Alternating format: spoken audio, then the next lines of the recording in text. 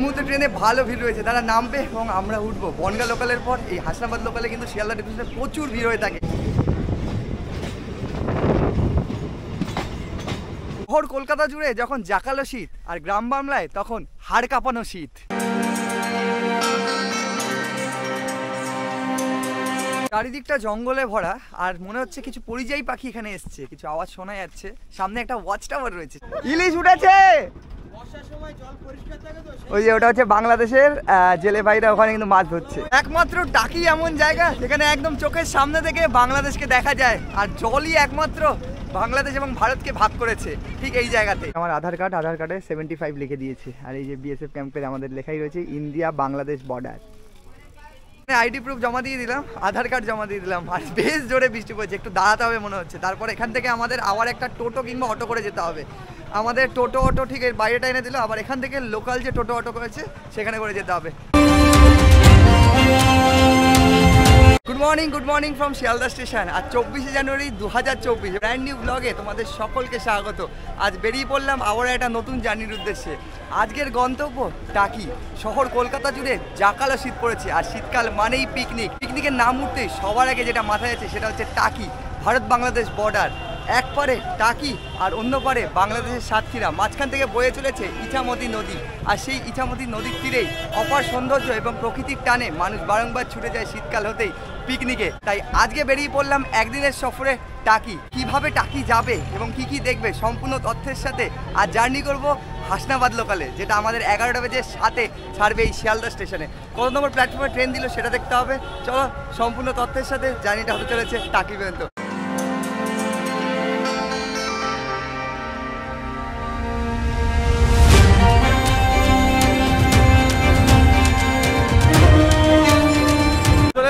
স্টেশনের ভেতরে। এবার দেখা যাক কত নম্বর প্ল্যাটফর্মে আমাদের ট্রেন দিল। এই মুহূর্তে দশটা বেজে ছেচল্লিশ। আর এই যে হাসনাবাদ লোকাল দিয়ে দিয়েছে আমাদের দু নম্বর প্ল্যাটফর্মে three three five two one Hasnabad local এগারোটা বেজে সাত দু নম্বর প্ল্যাটফর্ম দু নম্বর প্ল্যাটফর্মে ট্রেন দিতেই মানুষ ঘুরো কাটা শুরু করে দিচ্ছে দু নম্বর প্ল্যাটফর্মে যাওয়ার জন্য। কারণ সিট পেতে হবে। দু ঘণ্টা জার্নি রয়েছে আজ আমাদের। চলো দু নম্বর প্ল্যাটফর্মে গিয়ে কথা হচ্ছে।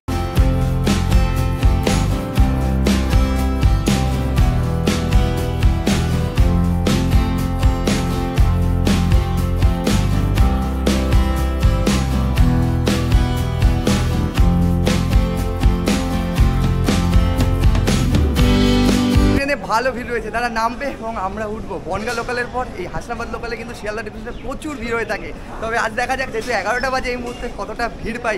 সকালে আর বিকেলে প্রচণ্ড ভিড় হয়ে থাকে। সময় হচ্ছে এগারোটা বেজে পাঁচ। আর এই আমাদের ট্রেন দাঁড়িয়ে রয়েছে, আর দু মিনিট রয়েছে। তার জন্য দেখি ট্রেনের ভেতরে কীরকম পরিস্থিতি এই মুহূর্তে। সকলে যে যার মতো বসে গেছে, তবুও ফাঁকা রয়েছে। একদমই ফাঁকা বলতে গেলে এই মুহূর্তে হাসনাবাদ লোকাল আর দু মিনিটের মধ্যে আমাদের ট্রেন ছেড়ে দেবে। আর এই ট্রেনের মধ্যে নটি কোচ রয়েছে। টাইম রয়েছে বারোটা বেজে সাতান্নতে পৌঁছে দেওয়ার কথা। মোটামুটি দু ঘণ্টা লাগবে। দেখা যাক কখন পৌঁছায়। আর মাঝখানে আমাদের রয়েছে সাতাশটা হল সবকটা হল দেখানো যাবে না। তবে যে কটা দেখাতে পারছি, সে কটা দেখাচ্ছি। নাহলে অনেক লম্বা হয়ে যাবে। তারপরে ওখানে গিয়ে আরও ঘোরাফেরা রয়েছে। চলো, উঠে পড়ি ট্রেন ছাড়লে তোমাদের সাথে কথা হচ্ছে। তোমার হচ্ছে এগারোটা তেরো।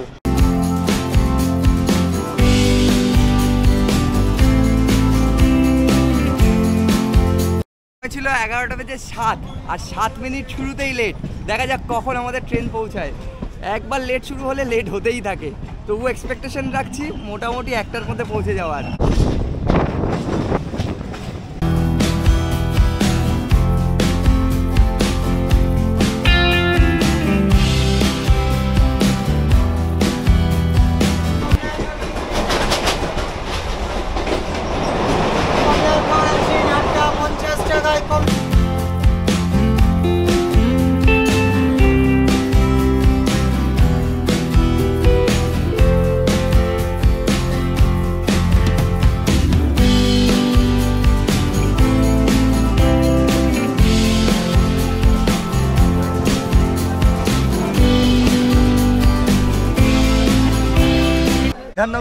ট্রেনটা ফাঁকা ছিল। দমদম থেকে পুরো ট্রেন ভরে গেল এবং বসার আর জায়গা নেই। একটা সিটে চারজন করে বসে পড়েছি। নামারও কোনো স্কোপ নেই। ডিরেক্ট তোমাদের সাথে দেখা হচ্ছে টাকি গিয়ে।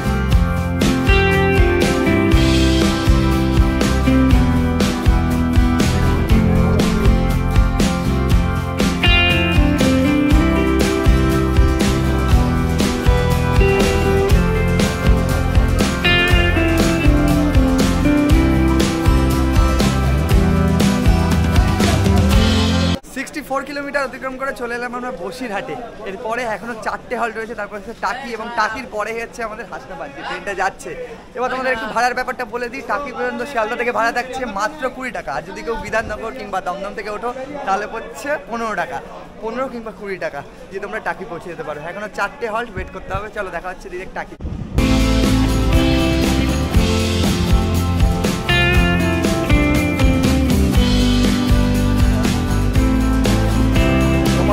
বেজে চোদ্দ। সাত মিনিট লেট থাকলেও সতেরো মিনিট লেট চলে এলাম আমরা টাকিতে, এই মুহূর্তে একটা বেজে পনেরো। চলো বাইরে বেরোনো যাক, আর এই দিকটা দেখা যাচ্ছে ওয়েদারটা খুব একটা ভালো নয়। মনে হচ্ছে রেনফল হতে পারে। একটা সম্ভাবনা রয়েছে দুটোর পর, জানি না কি হতে চলেছে। টাকি স্টেশনে প্রচুর মানুষজন, শীতকালে টাকি প্রচুর মানুষ ঘুরতে আসে। এবার স্টেশন থেকে বেরোনো যাক, বেরিয়ে কথা হচ্ছে।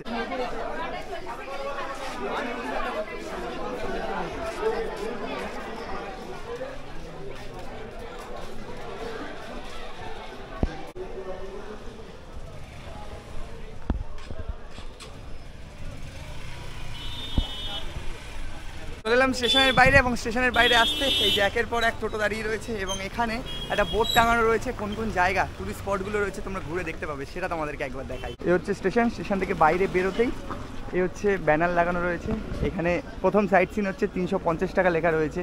টাকি রামকৃষ্ণ মিশন, ফুলেশ্বরী কালী মন্দির জমিদার বাড়ি পুপের বাড়ি এবং রাজবাড়ি ঘাট। তারপর দেখো আরও রয়েছে।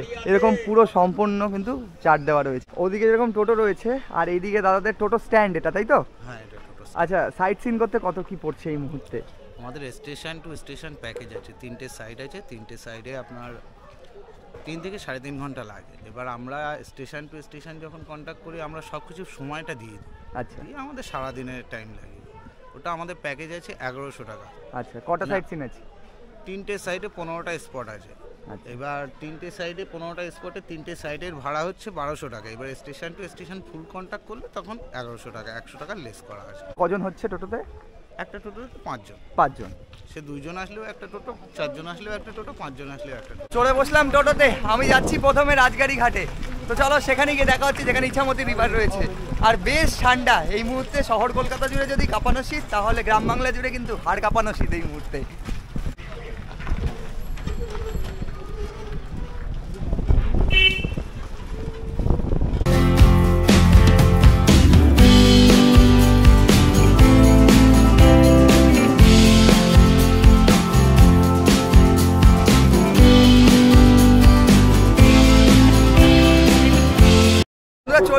টাকি রাজবাড়ি ঘাট। এই হচ্ছে রাজবাড়ি ঘাট, এখান থেকে বোটিংও হয়। পুরো একদম ইছামতি নদী ঘুরিয়ে দেবে। এই মুহূর্তে প্রায় দুটো বাজে। চলো, যাওয়া যাক এবং ভেতরে দেখি বোটের কি ব্যবস্থা রয়েছে। শীতকাল তো বোটিংয়ের মজাটাই কিন্তু মেন সব অটো স্ট্যান্ড আর এই হচ্ছে ঘাট। টাকি রাজবাড়ি ঘাট। আর এইদিকে সব গাড়ি দাঁড়িয়ে রয়েছে, সব দূর দূরান্ত থেকে মানুষ গাড়ি করে করে এসছে। আর এই হচ্ছে রাজবাড়ি ঘাট। এখানে বোটের ব্যবস্থা রয়েছে ইছামতি রিভার ঘোরা যায়। চলো ওঠা যাক এবং টিকিট কত রয়েছে সেটা জানার চেষ্টা করি একবার। দাদা বোট কত? বোর্ড মাথা পিছু একশো টাকা করে। আচ্ছা কতটা ঘোরাবে? তিরিশ থেকে পঁয়ত্রিশ মিনিট ঘোরানো হবে। আচ্ছা। তিন নদীর মোহনা বাংলাদেশের কিয়াপাতার জঙ্গল হোটেল সোনার বাংলা প্রদীপ সৈকত। এইগুলো দেখিয়ে আবার এখানে নামাবে এখানে আবার এখানেই নামাবে তাই তো? একশো টাকা। একশো টাকা। আচ্ছা এটা টিকিট দিয়ে দাও তাহলে। এনাম বিকেল চারটের পরে আর নদীতে ভ্রমণ করা যায়। ও বিকেল চারটে কটা থেকে শুরু হয়? নটা থেকে চারটে। নটা থেকে চারটে। টিকিট নিতে নিতে বোট প্রায় ছেড়েই দিচ্ছিল দাদাকে দেখে আবার একটু দাঁড় করানো হলো। সকলে বসে পড়েছে এবার আমার ওঠার পালা চলো। ওটা যাক এবং কীরকম মজা দেখা যাক এই টিকিট দিয়ে দিলাম। অনেকেই উঠে পড়েছে। মেঘলা মেঘলা ওয়েদার মনে হচ্ছে মাঝে মাঝে বৃষ্টি হবে। দেখা যাক কীরকম রয়েছে এবং কি কি দেখা যায় সেটাই হচ্ছে বড় ব্যাপার।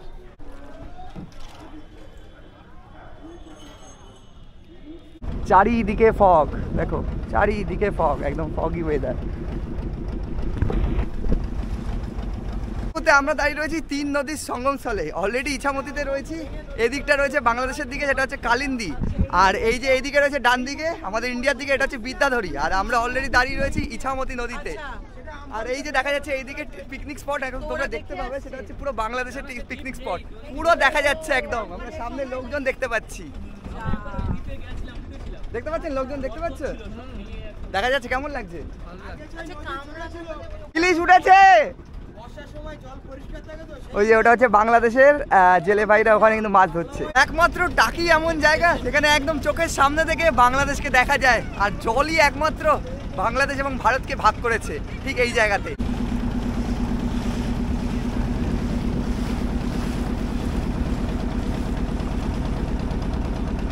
হ্যাঁ শুনতে পাচ্ছি।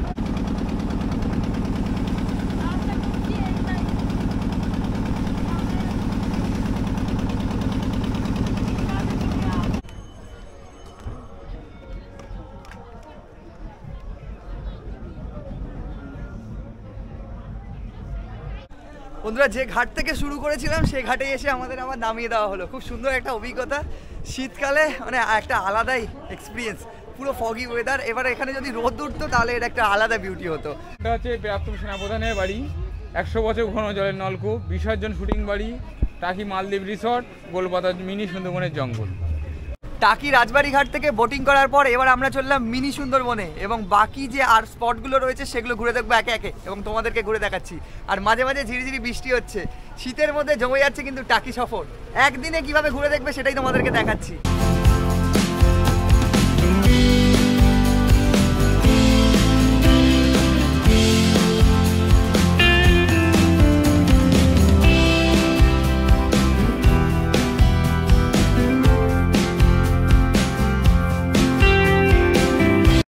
সুন্দরবন যাওয়ার পথে আরেকটা টুরিস্ট স্পট রয়েছে, চলে এলাম সেখানেই। এটা হচ্ছে ভারতের প্রাক্তন জেনারেল শঙ্কর রায় চৌধুরীর বাড়ি এবং এখানে রয়েছে দুর্গা দালান। তার সাথে এখানে গয়নার বাক্স শুটিং হয়েছিল। চলো, সেটা দেখে নিই আমরা। এই হচ্ছে আমাদের ভারতের প্রাক্তন জেনারেল, তার বাড়ি।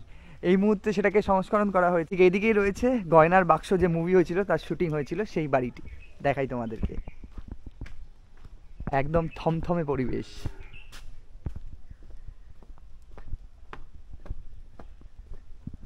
এই হচ্ছে সেই বাড়ি। ঠিক এই বাড়িতেই গয়নার বাক্স শুটিং হয়েছিল। সেই বাড়িটা তোমরা এখানে দেখতে পাবে। আর এখানে একটা রয়েছে দুর্গা দালান রয়েছে যেখানে আগে মহিষ বলি হতো সেই জায়গাটা তোমাদেরকে দেখাই একবার। একদম থমথমে পরিবেশ। মাঝে মাঝে বৃষ্টি পড়ছে শীতকাল কুয়াশা আর তার মাঝে টাকি ভ্রমণ। এই হচ্ছে দুর্গা দালান। এখানে পুজো হতো। এখনও পুজো হয়ে থাকে। এই হচ্ছে মা দুর্গার দুর্গা দালান। আর ঠিক একটা জায়গা রয়েছে এইখানে হচ্ছে মহিষ বলি হতো তৎকালীন সময়ে।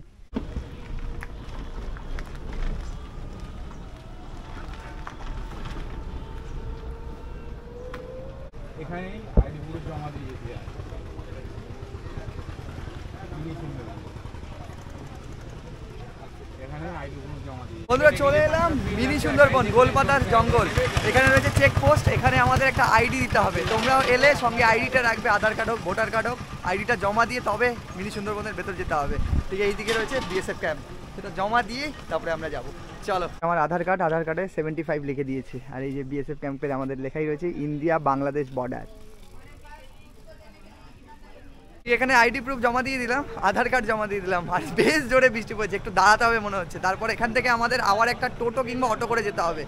আমাদের টোটো অটো ঠিক বাইরেটা এনে দিল আবার এখান থেকে লোকাল যে টোটো অটো করেছে সেখানে করে যেতে হবে। এখান থেকে আবার ওই দশ টাকা মিনি সুন্দরবন পর্যন্ত গোলপাতার জঙ্গল যাকে বলা হয়। তো অটো এখানে দেখতে পাচ্ছি না বেসিক্যালি যেটা দেখতে পাচ্ছি ভটভটি এই হচ্ছে ভটভটি দেখো সব।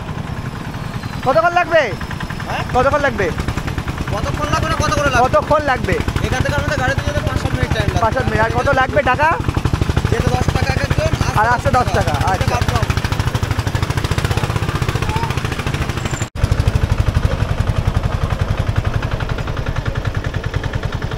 বহু কাল পর এরকম ইঞ্জিন ভ্যান যেখানে ভটভটি বলে মানে জানি বলতে গেলে। আলাদাই একটা এক্সপিরিয়েন্স এই গ্রামের পথে এগোচ্ছি, এখানেও কিছু জনবসতি রয়েছে। এটা প্রপার ওই বাংলাদেশের মধ্যে পড়ে যাচ্ছে বলে আইডি প্রুফটা জমা নেওয়া। সবার যাতে একটা সেফ অ্যান্ড সিকিউরের একটা ব্যাপার রয়েছে তো, সেই জন্যই।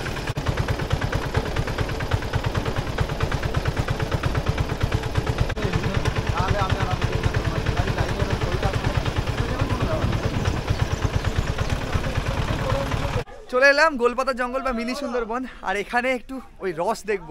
দাদা অলরেডি উঠে পড়েছে, আস্তে আস্তেই। দেখি?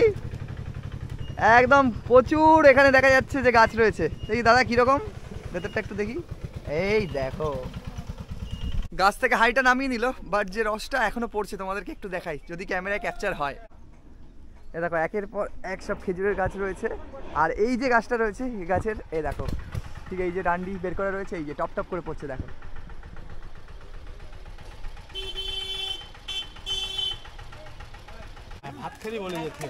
এই হচ্ছে খেজুরের রস। রস দেখো গাছ থেকে পাড়া হলো একদম র। খেয়ে দেখি।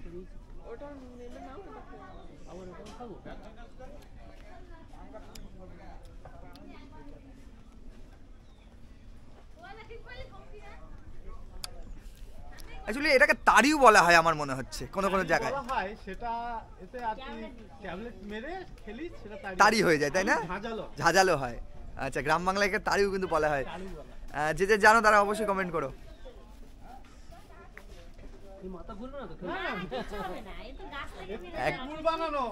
এতে গুড় তৈরি হয় সেই দাদা বলছে।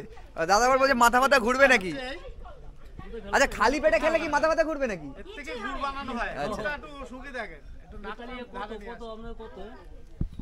কি গুড়? এটা লিকুইড পাটালি ওই ঝোলা গুড়। মৌজলাটা। আচ্ছা একদম লিকুইড অবস্থায় ফার্মে আছে। আচ্ছা। রস খাওয়ার পর এবারে আমরা চলেছি মিনি সুন্দরবনে। আর মিনি সুন্দরবনে ঢুকতে আমাদের এন্ট্রি ফিস দিতে হবে, দশ টাকা করে টিকিট কাটতে হবে। আমরা চারজন রয়েছি, চল্লিশ টাকা পড়ে গেল। সামনেই রয়েছে মিনি সুন্দরবন। চলো, ঝিরি ঝিরি বৃষ্টি পড়ছে, তার মধ্যে ফগি ওয়েদার একটা ভিন্ন চিত্র তোমাদের সামনে তুলে ধরতে পারব, আশা করছি এই মুহূর্তে।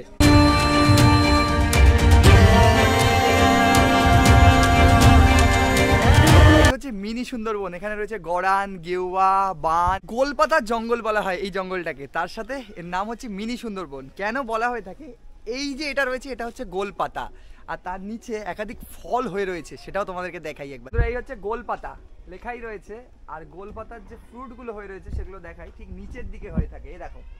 এগুলো হচ্ছে গোলপাতার ফল।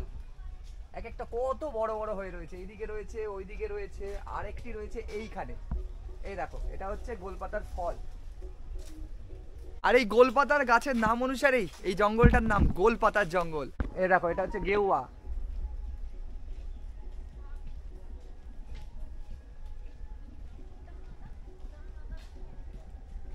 চারিদিকটা জঙ্গলে ভরা, আর মনে হচ্ছে কিছু পরিযায়ী পাখি এখানে এসছে। কিছু আওয়াজ শোনা যাচ্ছে। সামনে একটা ওয়াচ টাওয়ার রয়েছে। সেই ওয়াচ টাওয়ার থেকে উপর থেকে ভিউটা দেখাতে পাওয়া যাবে।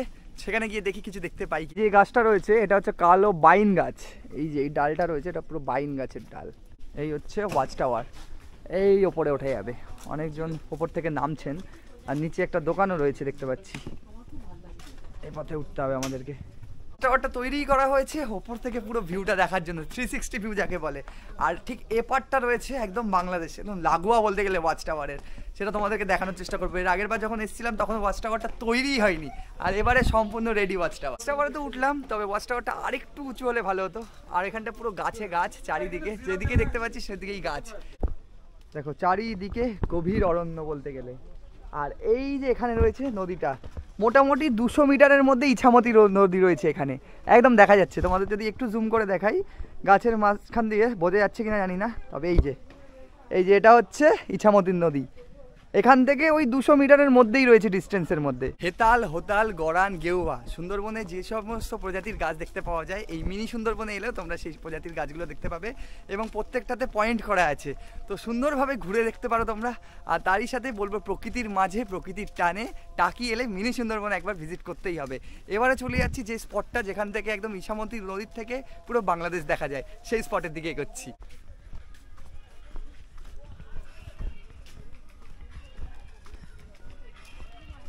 আমাদেরকে বোর্ড থেকে বাংলাদেশ দেখালাম। এবারে চলে এলাম মিনি সুন্দরবনের যে ভেতরে পিকনিক স্পট ছিল এটা এক সময় এটা এখন আর নামতে দেওয়া হয় না। তবে ওদিকটাই পুরো বাংলাদেশ। এই যে সামনে যে জায়গাটা দেখাচ্ছে, এখানে লোকজন এসে আগে পিকনিক করতো। তবে এই মুহূর্তে সকলকে এই স্পটে এনে জাস্ট বাংলাদেশটা দেখতে দেওয়া হয়। আর প্রচুর মানুষজন এই মুহূর্তে শীতকালে টাকি ভ্রমণে এসছে, দেখো। গোলপাতার জঙ্গল থেকে ঘুরে ঘাড়ে ফিরে এলাম আবার ওই ক্যাম্পে। সেখান থেকে আমাদের এবার আধার কার্ডটা কালেক্ট করতে হবে। সেটা করে এবার বাইরের দিকে আরও যে স্পটগুলো রয়েছে সেদিকে একটু ঘুরে নেব।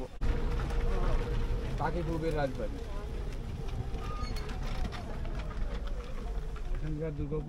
সর্বশেষে আমরা চলে এলাম টাকির রাজবাড়ি যাকে পুবের বাড়ি বলা হয়। ঠিক এখানে যে দুর্গা পুজোটা হয়ে থাকে, এখানের সেই দুর্গা প্রতিমা বিসর্জন হয়, তারপর সব দুর্গা প্রতিমা বিসর্জন হয়। ঠিক আমাদের কলকাতা যেরকম শোভাবাজার রাজবাড়ির দুর্গা প্রতিমা সবার আগে বিসর্জন হয়। চলো দেখে নিই সেই টাকির রাজবাড়িটা। হচ্ছে টাকির রাজবাড়ি, যাকে পুবের বাড়ি বলা চলে। এই দিকে রয়েছে মা দুর্গার দালান এই পথে। এই হচ্ছে টাকির রাজবাড়ির দুর্গা দালান।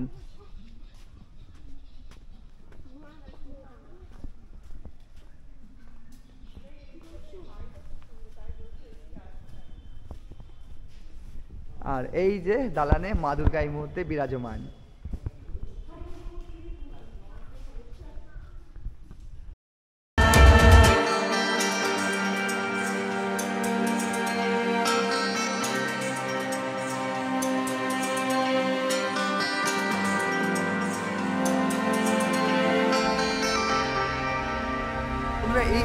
টাকির পুবের বাড়ি বা জমিদার বাড়ি, যাকে রাজবাড়িও বলা চলে।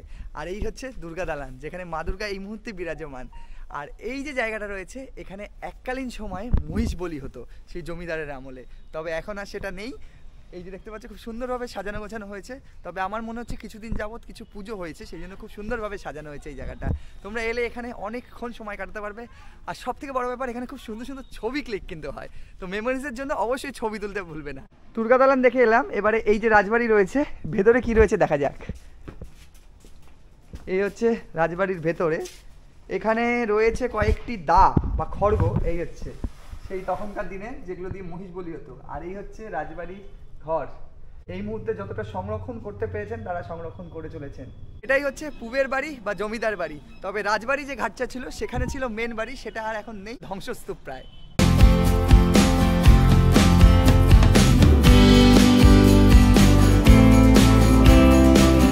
হচ্ছে পাঁচটা বেজে তিন। একটা পনেরোতে টাকিতে এসেছিলাম, টাকিতে এসে বোটিং করলাম, টাকি ঘুরে দেখলাম একদিনের সফরে। তো এই ছিল আপাতত ভিডিও ফিরে যাচ্ছি আবারও বাড়িতে। মানে উঠে পড়ছি সেই হাসনাবাদ লোকালে যেটা করে এসেছিলাম। চলো, উঠে পড়া যাক। আর এভাবেই তোমরা একদিন কিন্তু ঘুরে দেখতে পারো টাকি। যেভাবে আমি ঘুরে দেখলাম, তবে আরও কিছু স্পট আছে। একদিনের সফর, এটাই ছিল আপাতত। কেমন লাগল ভিডিওটা অবশ্যই কমেন্ট করো। ভিডিওটা ভালো লাগলে লাইক করতে পারো চ্যানেলটাকে সাবস্ক্রাইব করতে পারো। চলো, দেখা হচ্ছে নেক্সট ভিডিওতে নেক্সট জার্নিতে ততদিন ভালো থাকো, সুস্থ থাকো। টাটা!